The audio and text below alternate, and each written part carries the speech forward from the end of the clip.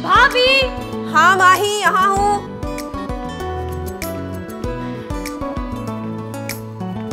भाभी मैंने अपना सारा सामान छान मारा है लेकिन मेरा वो नीला दुपट्टा नहीं है। नीला? वो तो मैंने फकीरा से कह के खुद रखवाया था। अच्छी तरह चेक करो वही होगा। मैंने दस बार देख लिया अपने सारे सामान में नहीं है। अब मुझे बताएँ मैं रात को ढोलकी में क्या पहनूँगी? मुझे वही नीला जोड़ा पहनना है बस।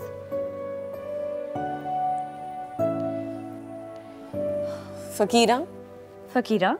जी। मेरा वो नीला जोड़ा रखा था कपड़ों में। माही बीबी मुझे तो बड़ी सरकार ने दूसरे काम पे लगा दिया था ना। वो मैं तो जोड़े टांक रही थी। पूरे बावन जोड़े भेजे हैं रिदा बीबी के लिए। पूरे बावन जोड़े। और आपका काम तो वैसे भी असगरी देख रही थी। देखा भाभी? देखा मेरे रंग में भंग डाल दिया ना। बस। अब तय हो गया मैं रिदा की ढोलकी में नहीं बैठने वाली। ओहो माही क्या हो गया है? आते ही फड्डा करना शुरू कर दिया तुमने। आंटी हमेशा मेरे साथ यही होता है। मेरे आधे कपड़े छोड़कर आ गई है ये। अरे इतने सारे तो कपड़े लेकर आई हो उनमें से कोई भी पहन लो। ना नाराज़ क्यों हो रही हो? नहीं मुझे वही नीला जोड़ा पहनना है जिसका दुपट्टा ये घर पर छोड़कर आ गई है। कोई बात नहीं माही। तुम मेरे नीले जोड़े का दुपट्टा पहन लेना वो वैसे भी तुम्हारे सूट के साथ बिल्कुल मैच करता है। तुमने भी अपनी जिद की आदत बिल्कुल नहीं छोड़ी। तो मेरी दोस्त हो ना? जानती हो ना मेरे बारे में? मैं जब कुछ सोच लेती हूँ तो उससे हटकर कुछ भी हो मुझे नहीं पसंद।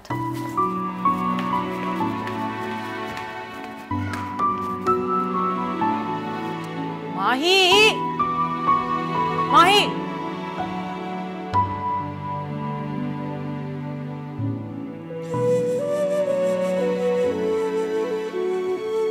माही।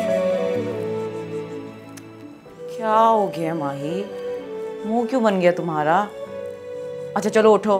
तैयार हो, मार्केट चलते हैं, तुम्हारे लिए नया दुपट्टा ले आते हैं। ठीक है? माही, मिल जाएगा ना यार? आओ तो सही। यहाँ नहीं मिलेगा। वो एग्जैक्ट मैच था। यार मैं बता रही हूँ, मिल जाएगा। चलो उठो, शाबाश। उठो। चलते हैं ना।